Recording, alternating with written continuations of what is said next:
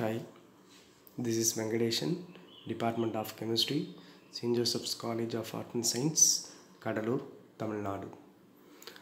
தொட்டனை தூரும் manarkeni மாந்தர்க்கு கற்றனை தோறும் arivu Thirukkural Hi dear students, now we are going to see about an important topics that is quantum chemistry. In my previous videos, we have discussed the Schrodinger equation for 1D box. Now we are going to see about for three-dimensional box. So from from the Schrodinger equation, h cap psi equal to E psi. You know that this is an time-independent Schrodinger wave equation. From this, h is called as Hamiltonian. h cross square 2m dou square by dou x square plus dou square by dou y square plus dou square by dou z square plus v psi equal to e psi here we are taking as x y and dz because this is in three dimensional box for the one dimensional box only we are taking as one direction that is in x direction we know that particle in, inside the box the potential energy is 0 so v equal to 0 hence h cross square by 2m dou square by dou x square plus dou square by dou y square plus dou square by dou z square psi equal to e psi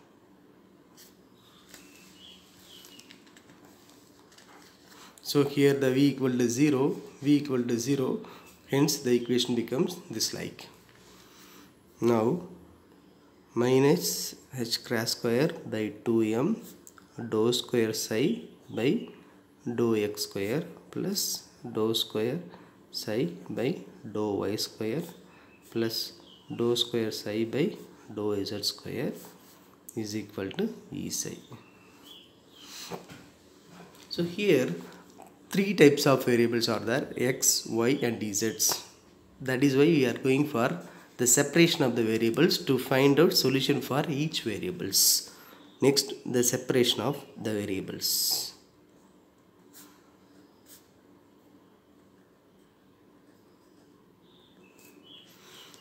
as psi equal to x y z that you can take as x of x y of y and z of z.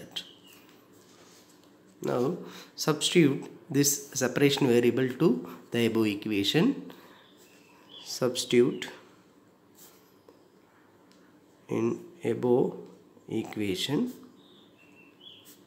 and divided by x of x, y of y, z of z. By dividing these three, you are obtained as minus h cross by 2m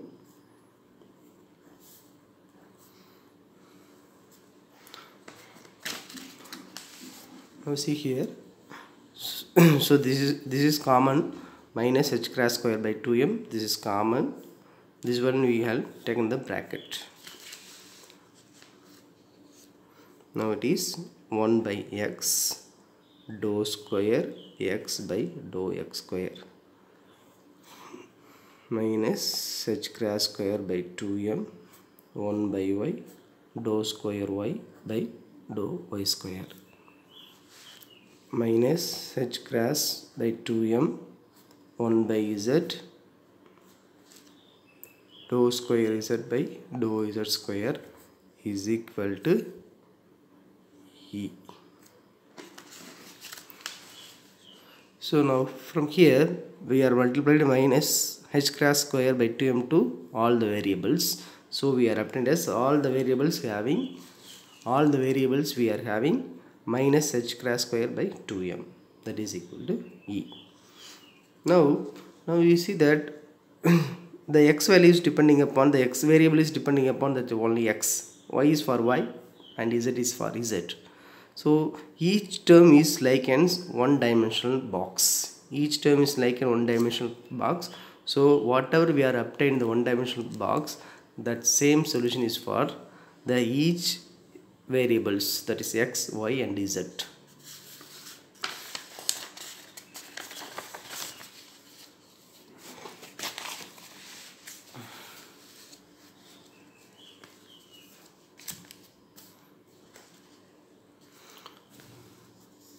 now this is we are separately write as x square by 2m 1 by x dou square x by dou x square is equal to e.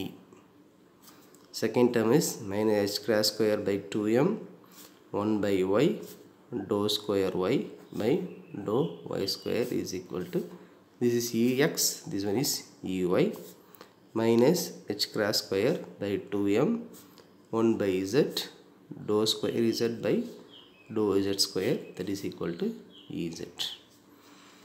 So each one act as, as one dimensional box. For the t for the three dimensional box it is an addition of the x, y and z.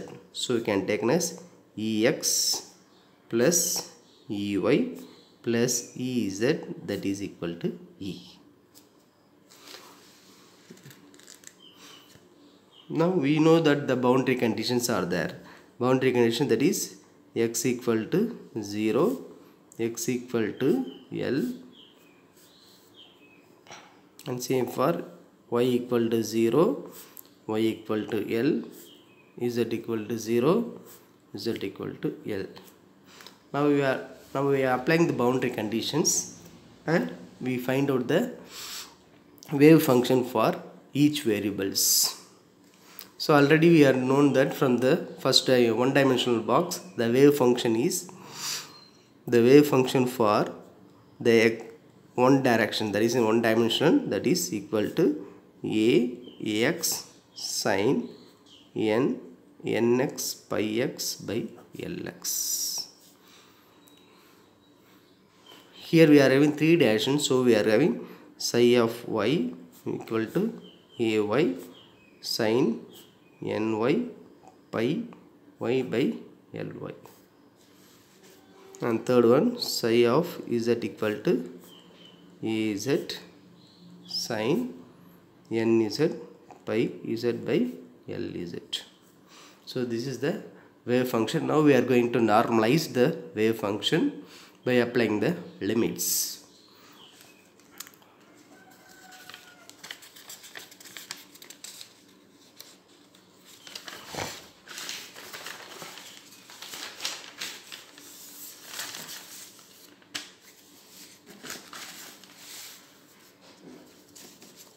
so now we are going to normalize the wave function. That equal to of L dx 0 of L dy 0 of L dz psi star x y z psi of x y z. So by substituting the psi value that is for x means ax sine nx pi x by lx. Same for y and z. By substituting in the first dimensional box in one dimensional box we are obtained for each one as square root of 2 by l. So for the y direction that is square root of 2 by ly for the z direction 2 of lz this is we are obtained so the of ax ay and az is equal to square root of 8 by lx ly and lz. So now complete wave function is psi equal to square root of 8 by lx ly lz sine of n nx pi x by lx. Sine of ny pi y by ly sine of nz pi z by lz so this is the complete wave function for the three dimensional box. Each and every one is an one dimensional box. For the x direction thickness 1 y one dimensional z also in one dimensional. Collectively it is an three dimensional one. If now we are going to find out the energy energy for the particles. So for that one dimensional box we know that for the one dimensional e equal to n square h square by 8m l square. Now it is in three dimensional box the energy becomes e equal to nx square by lx square plus ny square by ly square plus nz square by lz square h square by 8m so this is for three dimensional. This one is for one dimensional. It is an addition of three um, x y and z. Now whenever the lx that is equal to ly that is equal to lz then you can take as l. So this is like an cube like form. When the three dimension is in cubical form cube form then all the direction all the lengths are equals.